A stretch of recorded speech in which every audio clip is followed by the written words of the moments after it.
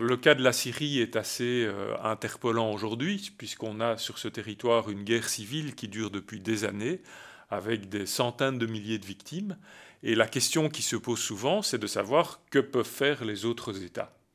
Que peuvent faire les autres États lorsqu'il n'y a pas d'autorisation du Conseil de sécurité, puisque dans le cas de la Syrie, comme on le sait, le Conseil de sécurité, pour des raisons politiques, a décidé pour l'instant de se limiter à des résolutions très très générales qui en tout cas n'autorisent pas des interventions extérieures. À ce moment-là, que se passe-t-il? On retombe dans le droit commun de la guerre civile qui finalement est caractérisé par une espèce de régime de neutralité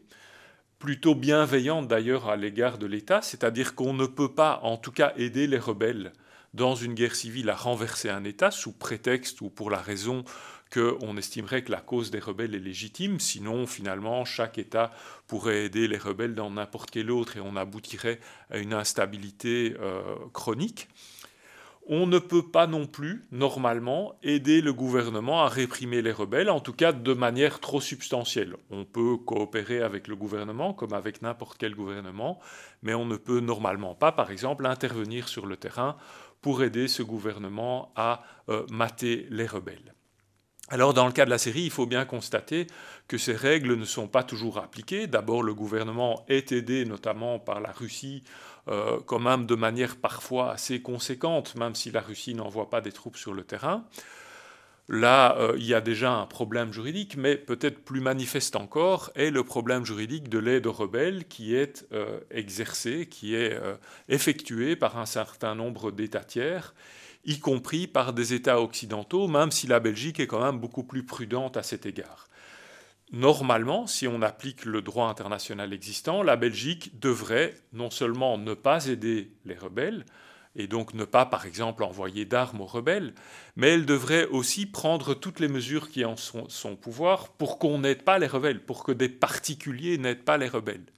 Il y a là donc en droit international une espèce d'obligation non seulement de ne pas faire, donc de ne pas, euh, par exemple, transférer des armes, mais aussi une obligation de faire, une obligation d'utiliser tous les moyens qu'on a pour empêcher qu'une aide soit apportée aux rebelles. Et là se pose la question dont on débat souvent aujourd'hui de particuliers, de personnes privées qui vont euh, sur le terrain aider les rebelles syriens à combattre le gouvernement. Alors ce sont des particuliers, ce sont des personnes privées, donc la Belgique n'est pas responsable des actes de ces personnes-là, mais on pourrait reprocher à la Belgique une attitude passive si elle ne faisait absolument rien pour empêcher ces personnes d'aller appuyer les rebelles. Ce qui explique la politique de la Belgique aujourd'hui, qui est une politique non seulement, comme je l'ai dit, d'abstention, c'est-à-dire qu'elle tend à essayer de ne pas euh, appuyer elle-même les rebelles, en tout cas militairement, mais aussi une politique active, puisque la Belgique prend un certain nombre de mesures pour réprimer les euh, volontaires qui se rendent sur le terrain et qui appuient les rebelles contre le gouvernement. Il s'agit là donc pour la Belgique d'une exécution de ses obligations en droit international euh, qui, euh, je le répète, donc tendent à empêcher et à une aide aux rebelles, y compris en obligeant les États à mener une politique active à ce sujet.